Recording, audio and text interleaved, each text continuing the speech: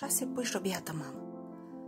Mai de mult, o rândunică avea în cuibul șase pui și privea la ei sărmana ca la chipul soarelui. De cuzori pornea săgeată căutând, pe deal și văi, hrană pentru puii săi.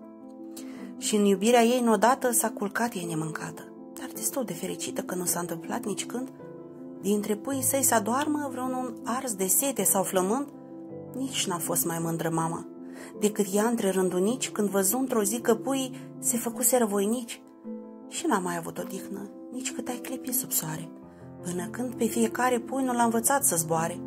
Dar, când toți puteau să plece încotro, voiau sub slavă, rândunica istovită a căzut în cuib bolnavă.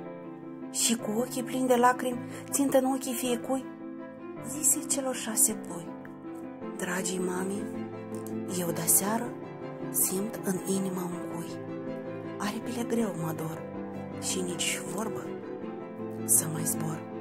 Dumnezeu mi-a dat putere oricât am avut nevoi să găsesc într-una hrană pentru voi.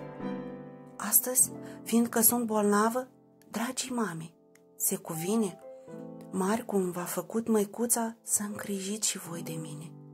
Și ca nimeni dintre puii mei să-mi simtă că mi rob, fiecare să-mi aduceți zimic numai câte un bob.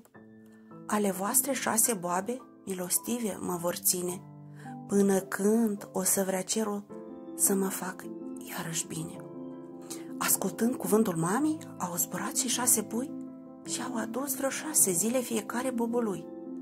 Mai departe însă pui, bezi de-a slăvilor înalt, fiecare având nădejde că îi va duce celălalt. N-a mai dus niciunul bobul. Și uitată mucinica a murit atunci de foame, cea mai sfântă rândunica.